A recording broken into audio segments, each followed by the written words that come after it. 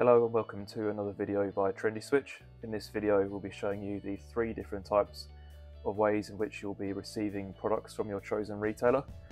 In example number one, this is a fully complete product with plate and back already inside the bag, ready for you to install in your chosen colour, in this example piano black. The second different type you could receive your product is in two parts, one being the mechanism in my left hand and the plate in my right. These two come together, once that's installed the plate will go over the top and that is your complete product to be installed. Some retailers will stock plates and mechanisms separately so you'll receive it in two parts.